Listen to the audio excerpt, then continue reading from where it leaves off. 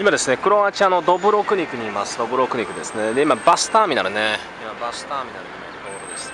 で今ザグレブから夜行バスを使って今来たところなんですけど今到着して今ドブロクニクのバスターミナルにいます。でこれ新市街の方にあるんですけどね。新市街の。で、えー、旧市街にこれから行くために、ね、歩いてったら、ね、40分ぐらいかかるみたいですけどバスで行こうと思ってます。バスで大体時間が15分ぐらいらしいです。そこのところこれ中にね国際バスとかこの国内からのバスの発着場になってるんですけどタクシー待ってます。タクシーで余裕がある人はタクシー。でバスで行きたい人はそこの後ろです。この出たところですねあります。